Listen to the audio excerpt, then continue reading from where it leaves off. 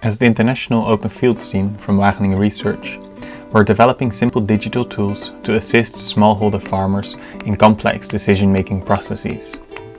The tools are easy to use, accessible offline on any type of smartphone or tablet, and require little data and storage space. By using the Open as App platform to develop our tools, we can develop a tool that is developed by our own team at a low cost it can be region, country or project specific. It can be translated into a local language. Tools are free to download by the end users. There is a short time from idea to a working prototype that can be tested in the field to guarantee the added value for the end user.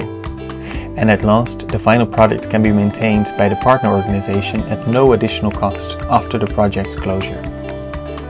Right now, we're prototyping three different apps the first app is a late blight decision making tool.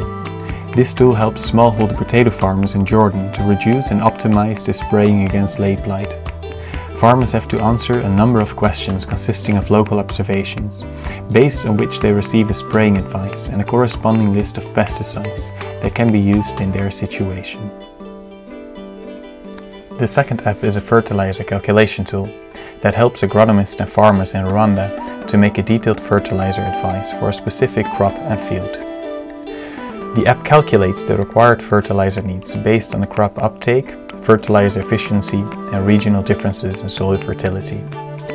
The user enters what organic manure they will apply and which chemical fertilizers they want to use.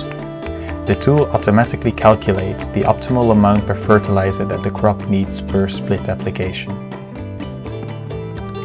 In the overview, a list of all the needed fertilizers and costs is displayed, including an overview of what the total application consists of and the specific application rates per plant for each split and fertilization type.